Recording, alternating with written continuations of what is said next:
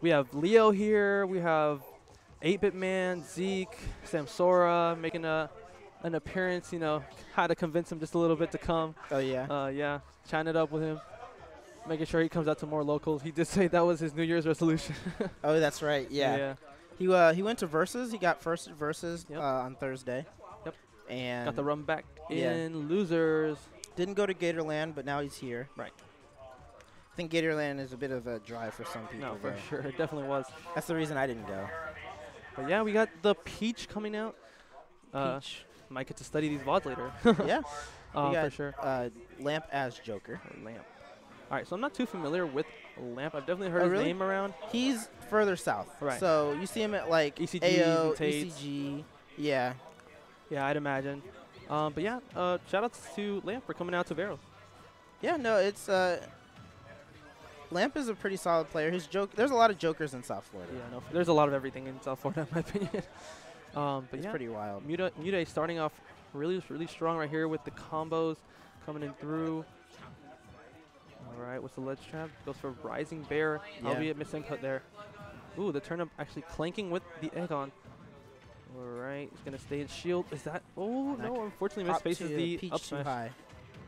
Yeah, Peach is one of those characters that you have to have a specific percent on them for that Yes. combo to work, just because she's so floaty. Yeah, floaties they kind of get the benefit of not having a high combo window Right. percentage, hmm but it also makes it harder for them to land. Exactly. Yeah, floaties definitely have a hard time landing in this game. Yeah.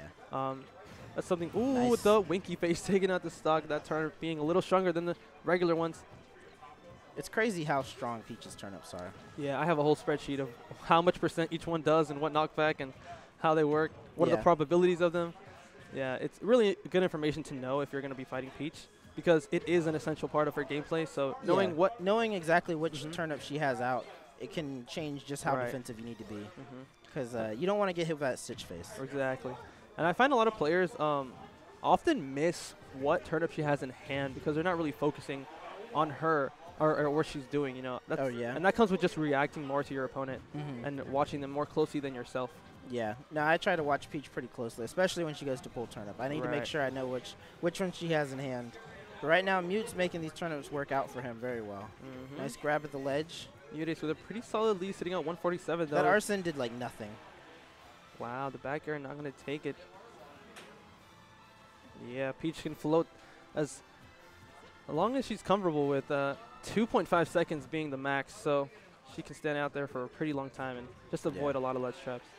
Right now, still sitting there. Uh-huh. Yeah, see, there's not much Joker can do when Peach is just floating there, just Yeah. waiting.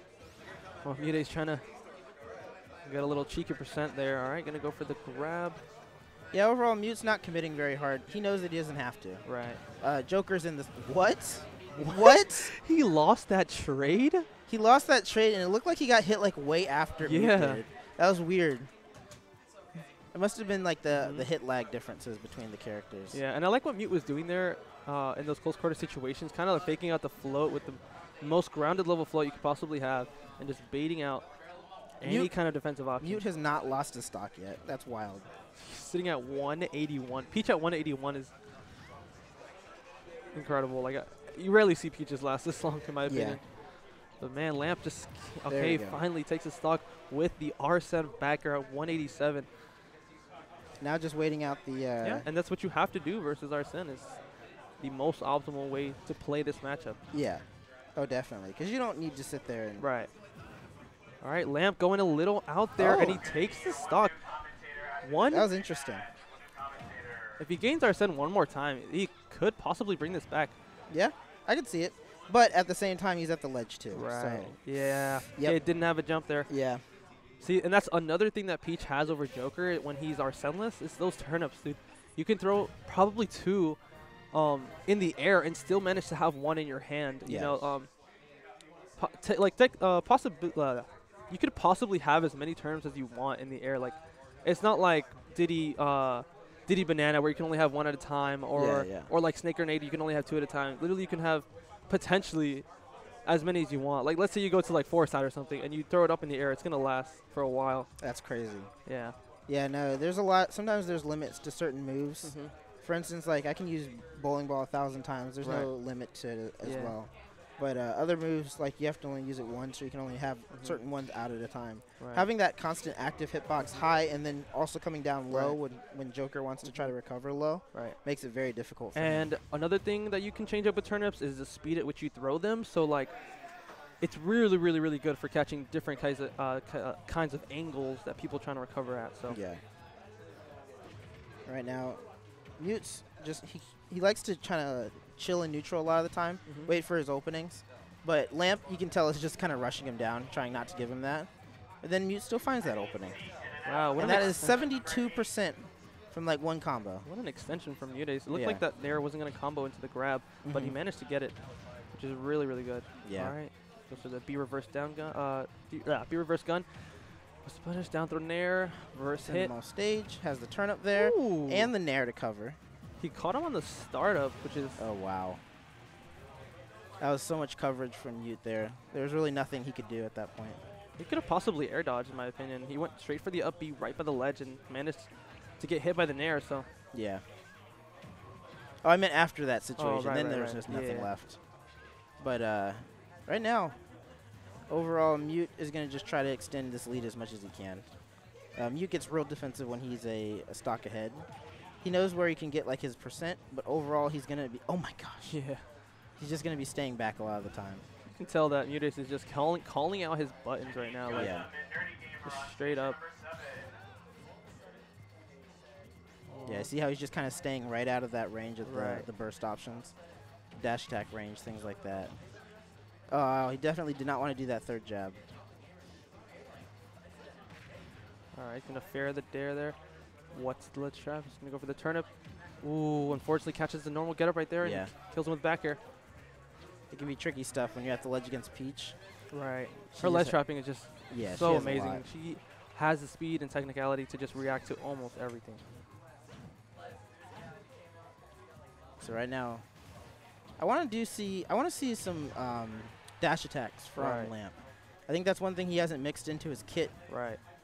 And I think that would overall help him in some of these situations. Nice. Yeah, he's going for these counters kind of a little preemptively. Mm-hmm. He needs to react just a little bit more. Yeah. He's just having a hard time because I think he, he's being thrown off by a lot of uh, Mute's, uh, Mute's movement and his timing changes. Right. Yeah, Mute doing a really good job mixing it up, but Lamp takes the first stock There with the back air. Yeah, it doesn't seem too out of possibility for him to bring this back, but Mute just uh, riding a lot of momentum right now. It's Yeah. probably gonna be really hard for him to catch up. Ooh, yeah, to- I oh called. I knew he was gonna do He needs to get something started, but I don't think he's going to get that chance. yeah, Mute loves doing that Z, uh, that Z drop into a follow up. Catches people off guard when they're dropping shield. Lamp approaching with a lot of dares. Yeah.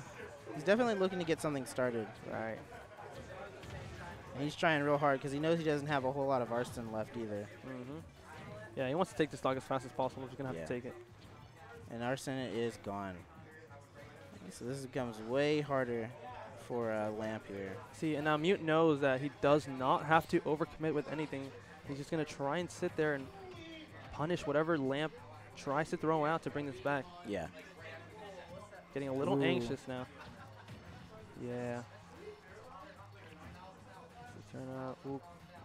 Kind of catches a roll, but doesn't commit to an Trying to read there. the jump out.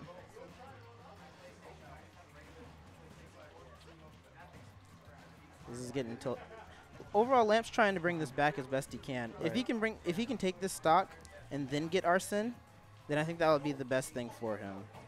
Yeah, but Lamp's doing a really good job of keeping Mute at the corner there, but a little a little overextension there with the forward smash gets hit with the forward tilt. Yeah, and he's not jumping when Mute wants him to, either, Right. so that's also helpful. It shows that he has some patience there.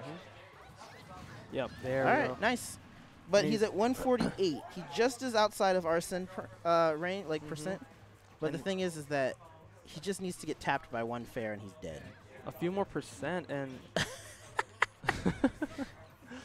Mute's, not even trying to be aggressive fancy with anything. He Yeah. just wants to go. Oh my Oh my god, if he had gotten hit with that, Yeah, he was yeah. dead.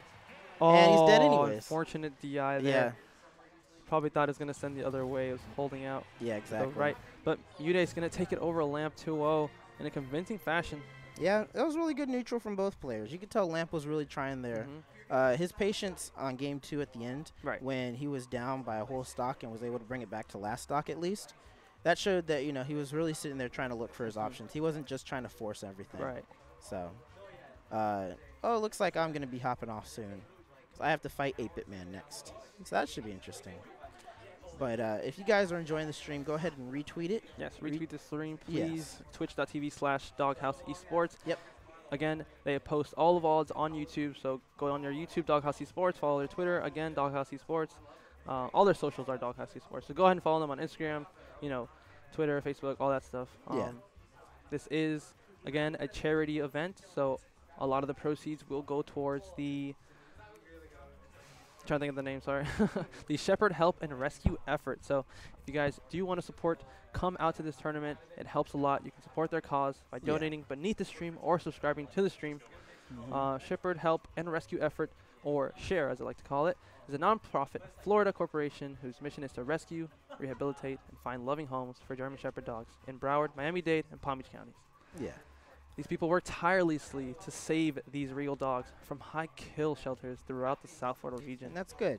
Yeah, even even uh, my parents, they were trying to take this dog. They were trying to take a dog to a shelter where they could it could be taken care of. But they said that they didn't really have room for it, so they, we actually ended up taking the dog in instead. Mhm. But uh, it, it's just sad to see when you, when you have dogs that are just you know they have so much love to give, and they're just And they're just so helpless. yeah so, So, helpless yeah, to guys, situation. you guys want to support, please do. I'm gonna be hopping off here. I have to fight 8-Bit Man next, but Alright. I'll catch you guys later.